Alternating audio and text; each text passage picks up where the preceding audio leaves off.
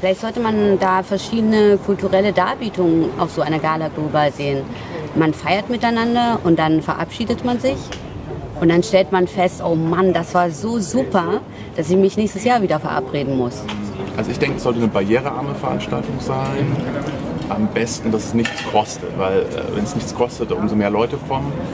Und vielleicht sollte die Werbung, denke ich, auch so ein bisschen direkter sein, also dass mehr Leute aus unterschiedlichen äh, Milieus auch anspricht. Ich denke, das wäre wichtig.